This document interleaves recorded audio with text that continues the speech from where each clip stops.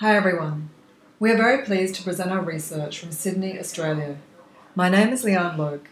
With my colleague Naseem Ahmadpour, we will present on behalf of our co-authors. Five million adults in Australia live with unresolved childhood trauma.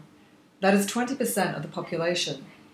Trauma is defined as the emotional, psychological, and physiological residue left over from heightened stress that accompanies experiences of threat, violence, and life challenging events.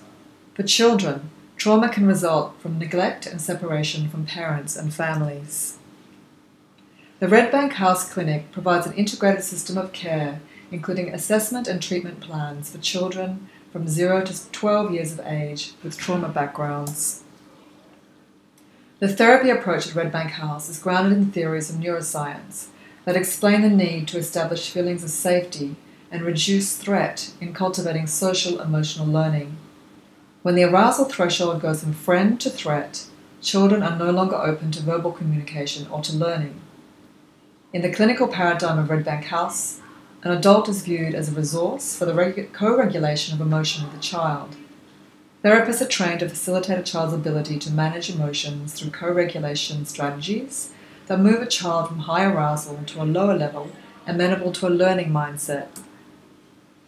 Our research questions are how to support the process of social emotional learning, which involves reflection for behavior change. As HCI researchers, we were keen to understand how to work with therapists in these sensitive settings involving clients.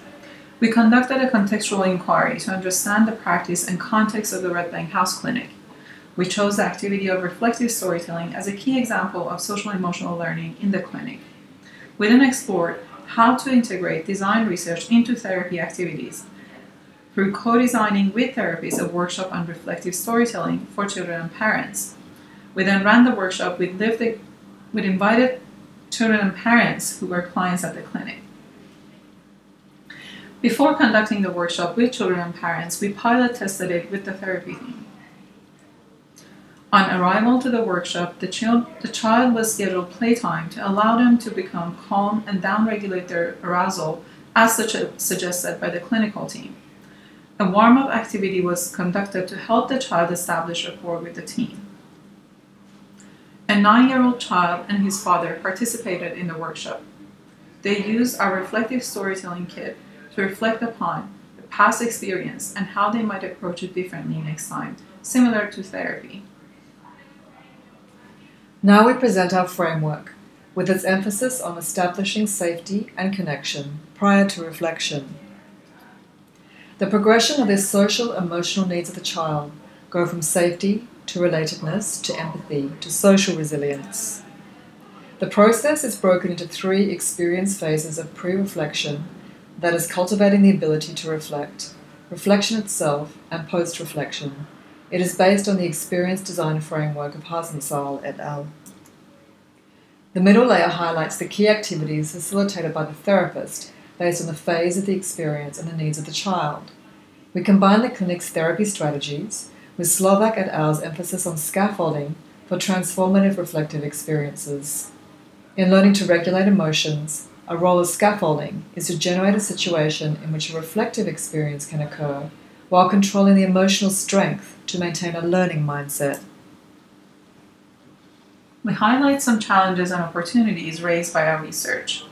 It is not easy to work with vulnerable children and parents in clinical contexts. It is important to identify the value of participation for them.